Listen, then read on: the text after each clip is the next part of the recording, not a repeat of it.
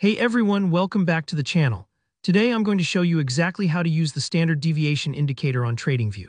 Whether you're completely new to technical analysis or just want a refresher by the end of this short tutorial, you'll know how to add this tool to your charts and understand why it can be so useful in analyzing market volatility. So let's dive right in. First things first, go ahead and open up TradingView. You can do this either in your web browser or through their app, whichever you prefer. TradingView is one of the most popular platforms out there for charting and analyzing various markets, from stocks to crypto and more. It's widely used because it's so intuitive and flexible.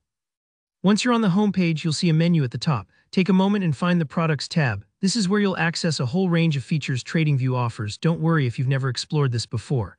Clicking Products brings up several options, but what we're interested in today is adding indicators to your chart. Next, look for the Indicators option. It usually appears right above your chart when you've opened one or you can find it through the products menu. Clicking indicators opens up a search panel and honestly this is where TradingView shines. You'll find everything from the classic moving average to more advanced tools. Indicators can help you see trends, spot reversals, and understand how volatile a market is, and that's where standard deviation comes in. Now in the search bar that pops up, type in STDDEV. Just the shortened version for standard deviation, don't worry, TradingView knows what you mean. Standard deviation is an important statistical measure that tells you how much price values deviate from the average over a certain period. In trading, it's a neat way to gauge volatility. If the line is rising, the market's getting choppier. If it's falling, things are calming down. After you type STDDEV, you'll see the standard deviation indicator pop up in the results pane.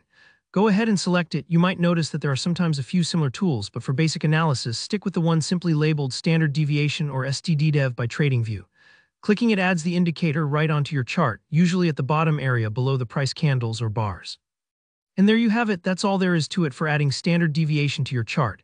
But let's pause for a moment, just in case you're thinking, wait, is that really it? Yes, the process is that simple. The magic, though, is in what this indicator can show you. Imagine you're driving on a winding road. If the twists and turns get sharper, you need to adjust your speed and pay more attention. Standard deviation works kind of like a dashboard for price movement. A rising line means more fluctuations and therefore higher risk and potentially greater opportunity.